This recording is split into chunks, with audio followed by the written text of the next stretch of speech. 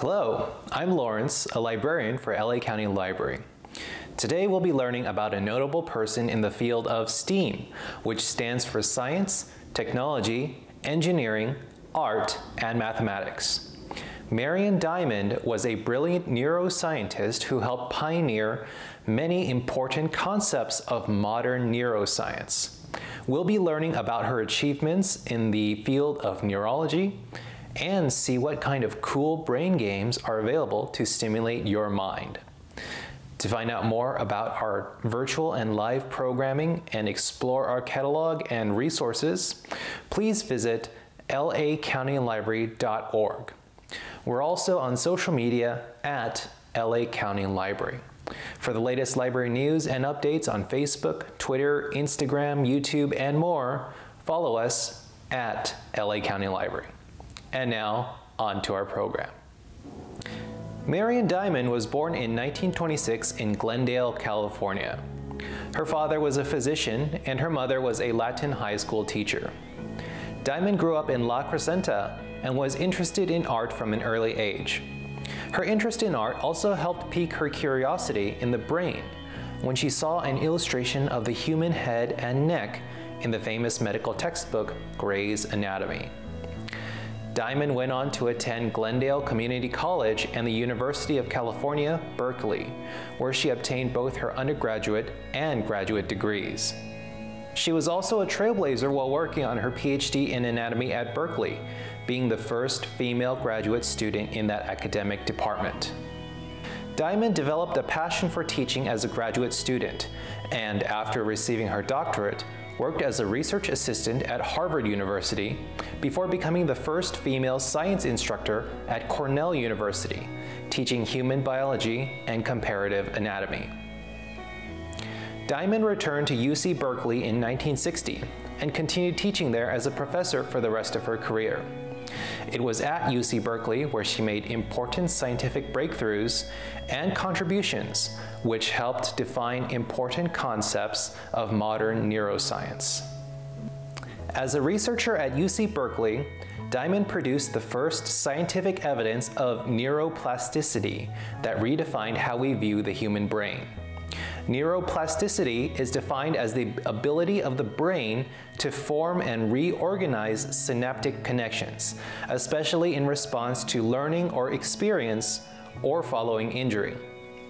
What that means in simpler terms is that the brain has a capacity to reorganize itself when something changes, whether it is with the body itself or the surrounding environment. This was a radical idea at the time because the scientific consensus up to that point considered the brain to be of a static, unchangeable nature after birth. Diamond used lab rats to prove that environmental factors could in fact alter the brain's anatomy. Some rats were placed in environments with additional stimuli, such as different objects and challenges, while some were placed in environments without additional stimuli. Her findings revealed that no matter the rat's age, whether they were young or old, the ones in the environments with additional stimuli had developed thicker cerebral cortexes. This was an exciting development because a thicker cerebral cortex is correlated with an enhanced capacity for learning. And these results, published in 1964, helped shape the field of modern neuroscience. Diamond was also able to examine parts of Albert Einstein's brain, but only after continually requesting access to the brain for three years. Einstein's brain was in the possession of a pathologist from Princeton University who had performed Einstein's autopsy. According to Diamond, one of the main reasons for her request taking so long was not because of her credentials as a scientist, which were already impressive at that point, but because she was a woman. Diamond's request was finally granted in 1984, and she received a sample of Einstein's brain to analyze. She found that Einstein's brain had twice as many glial cells as an average male adult. Glial cells are believed to play roles in the brain's learning, development, and memory, which might be a key to explaining Einstein's aptitude for science and math. In 2000, Diamond conducted a study involving a group of older adults playing bridge. She had long suspected that brain activity could affect the body's immune system, and did so by measuring each participant's white blood cell levels before and after they played bridge. The study's results found that each time a participant played bridge, their white blood cell count was higher than it was before they played. The study implies that positive activity, such as playing bridge, helps stimulate the dorsolateral cortex, a part of our brain that may help influence the production of white blood cells in our bodies. What this means is that positive, stimulating activities may lead to healthier bodies. A win-win. Marian Diamond continued teaching throughout her life at UC Berkeley until she passed away in 2017. In addition to leaving an important legacy in neuroscience, her lectures on biology and human anatomy are also very popular on YouTube, being one of the most viewed college course videos on the streaming platform.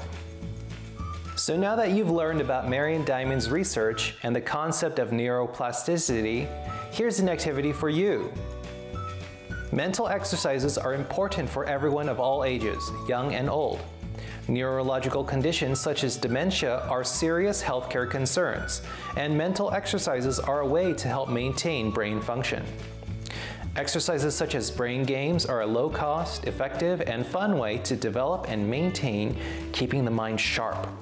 It's a much more challenging and stimulating activity for your brain than other less interactive activities, such as watching movies and TV shows. The best part is that the library has a ton of brain game materials in the collection that you can use to exercise your mind.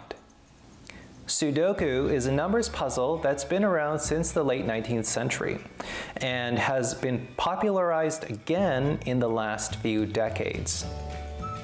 It involves filling up a 9 by 9 grid in which each column, row, and subgrid contain all of the numbers 1 through 9 and it is easy to pick up but difficult to master.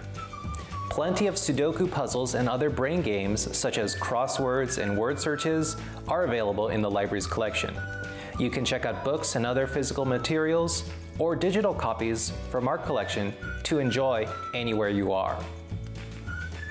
For more cool science project ideas, be sure to check out our catalog at lacountylibrary.org. This concludes our video. Until next time, Thanks for watching.